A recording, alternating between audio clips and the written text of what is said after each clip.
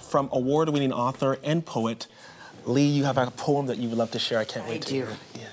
Yeah. Shall I stand or shall I sit? Um, I think sitting is better. Yeah.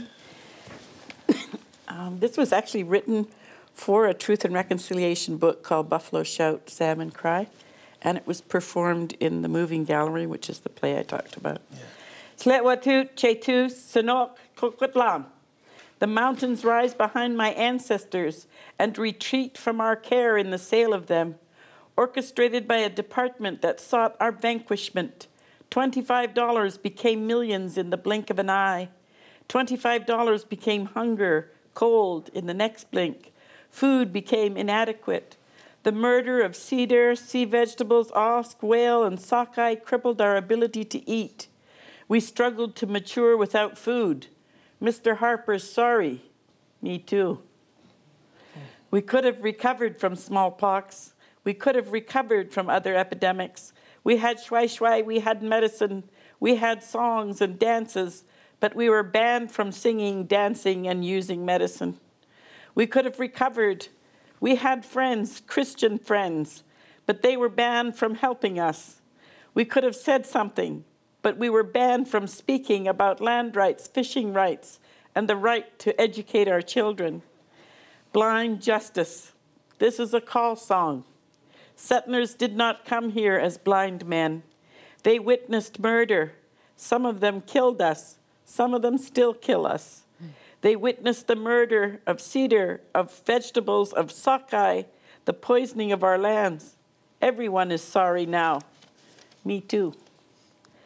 We could have included you in ceremony of facing ourselves, recovering ourselves, transforming ourselves, but our ceremonies were banned. Harper's sorry. Me too. Still, I am not tragic. Not even in my addicted moments, a needle hanging from the vein of my creased arm, I was not tragic. Even as I jumped from a skiff in a vain attempt to join my ancestors, I was not tragic. Even in my disconnection from song, from dance, I am not tragic. Even in seeing you as privileged, I found songs of justice to sing. O freedom! Even while you occupied my homeland, I, in a homeless state, did not begrudge you your privilege. Even as men abduct us as we hitchhike along highways to disappear along this long colonial road, I found a way to stand up and subvert colonial injustice.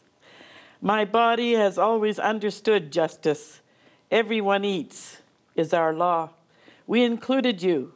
There is no word for exclusion in our language, so your whiteness was never a threat. This is not the first mass of death we endured.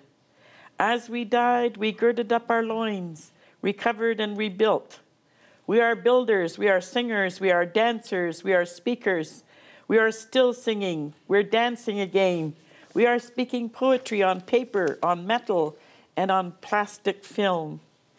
In the many millennia of life, we have learned there are constants.